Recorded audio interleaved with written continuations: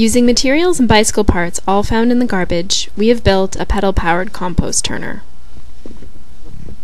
Instead of using a pedal-powered generator to power an electric appliance, this compost turner harnesses the mechanical power of the pedal to turn a compost bin, facilitating the essential but arduous task of turning compost.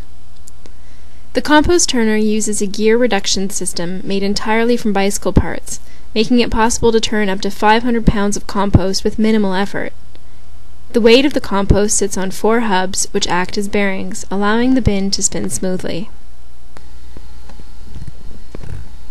To avoid foul smells and to ensure a compost that will effectively enrich soil, compost must be turned on a regular basis. This can take time and considerable energy, making tending to a compost heap unpleasant for many and impossible for those people with reduced mobility and limited physical strength.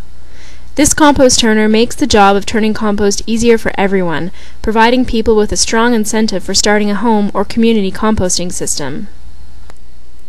With a few minor modifications, the drivetrain could power multiple compost turners.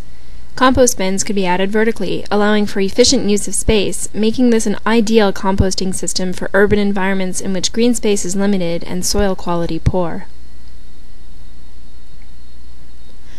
Watch how easily the compost turner turns with Tony inside the bin. Notice that Jacques will use only one hand to power the compost turner.